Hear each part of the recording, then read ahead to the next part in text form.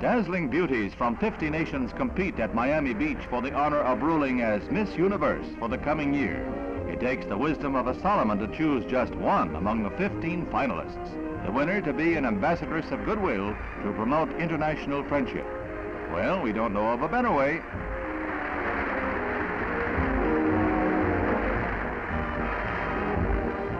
And the winner, she's Norma Beatriz Nolan, 24 of the Argentine. She had an Irish grandfather and her mother is of Italian descent.